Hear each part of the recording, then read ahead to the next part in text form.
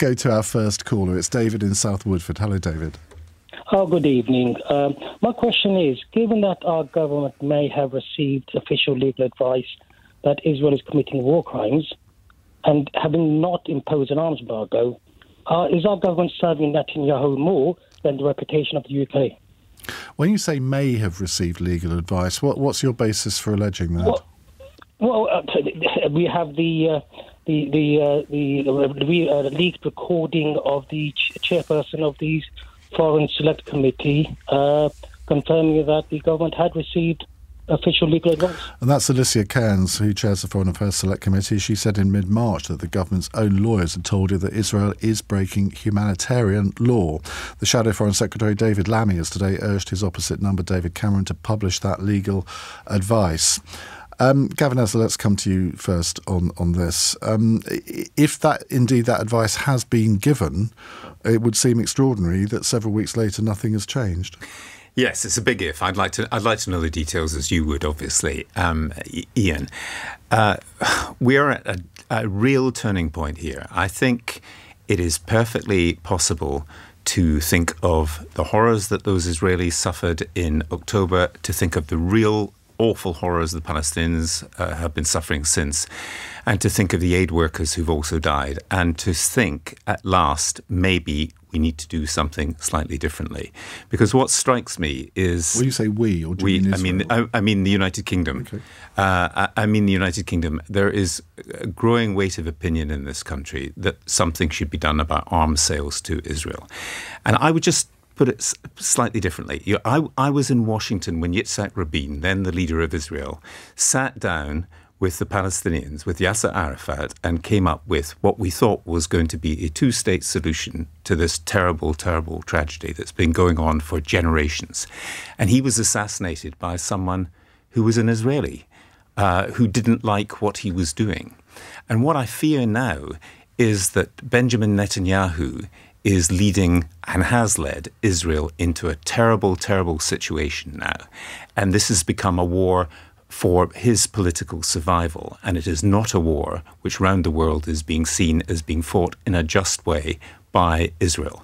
And that seems to me to present those people who think that Israelis have a right, right, to exist within secure borders in a very difficult position. And Netanyahu, just one final point on this before this happened, there were massive demonstrations by Israelis saying this man which is not still fit. going on now. Which is still going well, on now during the war. Now.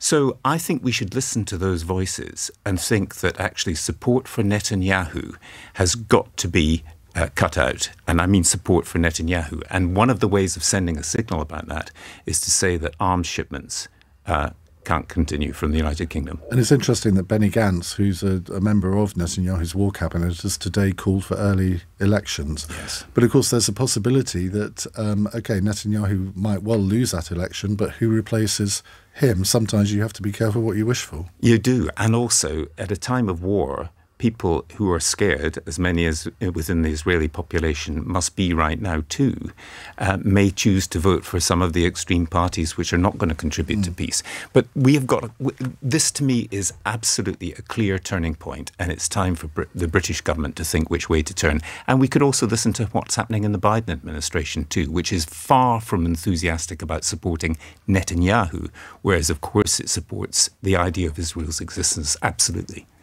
Um, Michael, what what do you make of the developments over the last 48 hours, and particularly the reaction of the British government? Because I think it's fair to say that over the past month, six weeks, two months, maybe, the British government has become, so shall we say, much more Israel skeptic. Yes. David Cameron's language, in particular, has become has been relatively critical, given that Israel is a is a bit major ally of this country. Yeah, I think that's where I'm coming from. Uh, we were having a conversation uh, before we came in uh, with Gavin about our own experiences of uh, Palestine, Israel. My father was one of those who survived the uh, bombing when he was a serviceman, aged 20 in 1946, outside the King David Hotel he was very anti-Semitic. Uh, I reacted as a, as a boy, always on the side of Israel. I've always had very good links with the Conservative Friends of Israel. Uh, I'd met a number of the people like Gavin, uh, uh, Shamir, uh, Rabin when he was leader of the opposition. I met a young backbench MP called Netanyahu in 1986, and I agree that uh, this is very much Netanyahu's uh, doing. And I think that the patience of Britain, even friends of Israel like me, our friendship is being strained to the limit. And I think that um, uh, there is going to be Biden and certainly David Cameron, four marks to him. Uh, I've noticed a change, especially uh, a, a, hardening, which I think he drives the Prime Minister Rishi Sunak on. Um, on the question of imports, exports of arms, there was an item on the World at One this afternoon where the actual amount of arms that we send isn't very much, but there is a phenomenal trade the other way Ironically, Israel does produce a lot of armaments which get exported. Uh, and I think that maybe trade sanctions are going to have to be considered. It's very, very sad because uh, this is a one man war. Biden said right at the outset, be very, very careful that you don't make a mistake now, which mm. you'll regret. And I think the uh, friends of Israel are being driven, namely the Americans and the British, to absolute distraction. And I think that, uh, uh, like you, mm. I can't see anything other than a survivalist mentality of Netanyahu, Netanyahu personally that I think is going to uh, find world pressure on him, if not Israel as a country. Richard Powell what, what do you make of things? I'm quite interested in also the fact that you and Sarah are from a different generation than the three of us, and I, I do think there is a sort of a, a generational issue here where younger people, I think, tend to be more supportive of the Palestinian argument, whereas older people, I think, maybe because they have memories of the of the war and the, I'm not saying that we're old enough to remember the war, but you know what you know what I mean. Um, I can remember the Six Day War uh, in the 1960s. I was a 16 year old kid, and all of our classmates were pro Israel against yeah. nasty uh, General yeah, well, Nasser. I think, I, think, I think, that's changed now. Yes. Well, the Six Day War was uh, around the time that my grandmother was living in Israel in one of the kibbutzim, and she came back to Britain and fast forward a few decades, um, you know, she taught me to really believe in the state of Israel as a Jewish state not because 1948 and the creation of the State of Israel had been fair or just or, or, peaceful, but because it was there and because it was the, the source and the root of safety for Ashkenazi Jews like her, and of course the Sephardim, excuse me, hitting the mic. And at the same time, my grandmother was absolutely committed to Palestinian statehood, and she was committed to Palestinian statehood for exactly the reasons that she believed in the Jewish state.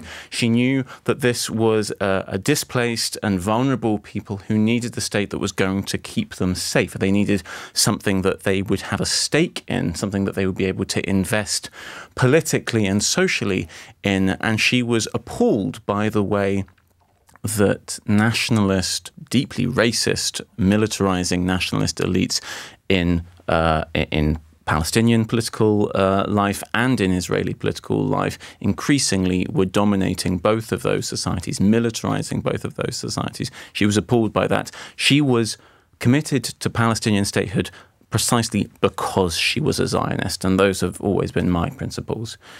I thought one of the most interesting and striking things uh, said today, um, but also one of the most facile things said today, was by Bob Seely, uh, the Tory MP, who, on the one hand, um, was saying that anybody uh, who um, thought that we should be uh, stopping arms uh, arm exports uh, to Israel was just involved in in, in wokery and um, moral, some kind of moral justice issue, which I thought was the but the very interesting thing that he said was that we shouldn't be uh, ending our arms exports to Israel because we need the intelligence that we get from Israel. And I thought that that actually was ultimately telling us what British foreign policy has been based on for a long time. It's a really fundamental misunderstanding of where the world is going. Um, you know, we are literally allowing Israel to fire F 16 missiles that possibly have been made in the UK at Britons. Um, and then we're saying that we need to let them do that for the sake of getting their intelligence. That, that's always been the argument about selling arms to Saudi Arabia as well, in that we need the Saudis to fight terrorism.